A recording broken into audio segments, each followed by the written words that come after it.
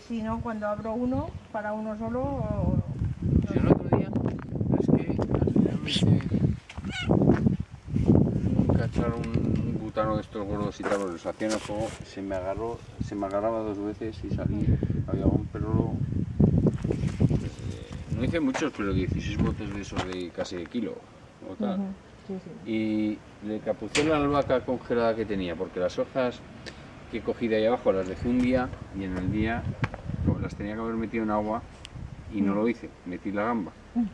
Entonces, Bueno, pero oye, me sa- me sa- el sabor de la albahaca me gustó la hostia. El otro día hice unos macarrones para abuelo y, y me sobró un poco que no embote.